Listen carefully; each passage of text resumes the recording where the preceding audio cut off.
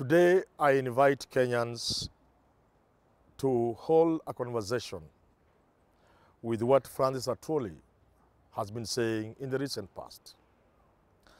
Atwoli is not your ordinary small trade union unionist.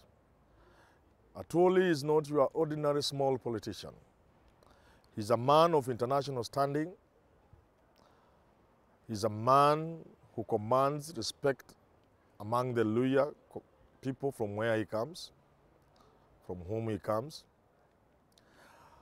Of late, Atwoli has been saying something, and I want Kenyans to try and engage with that. On Labor Day this year, Atwoli raised something that caught Kenyans by surprise and got some shock with it. He said that come 2022, Uhuru was going nowhere, that Uhuru will be too young to go somewhere, that we had to re-engineer our structure of government to ensure that Uhuru remained in some position, that otherwise he will cause trouble to those who will take power in 2022. We rebuked him, but then we forgot about it. Much recently, more recently rather, Atwoli has been hard to be firm on the issue of the change to our constitution. In fact, he's so assertive, he's so firm that one wonders what Atwoli knows that we don't know. And more importantly, what message Atwoli seems to be sending. In a recent TV show, Atwoli said that Uhuru Kenyatta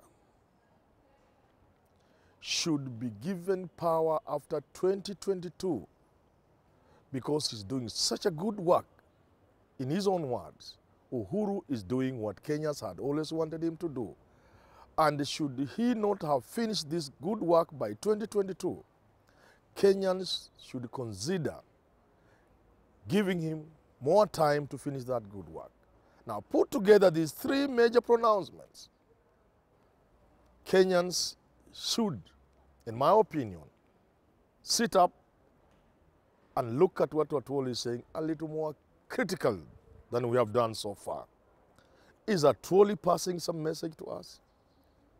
Does Francis Atwoli, the Cotu Secretary General, know something we don't know? I leave it to Kenyans.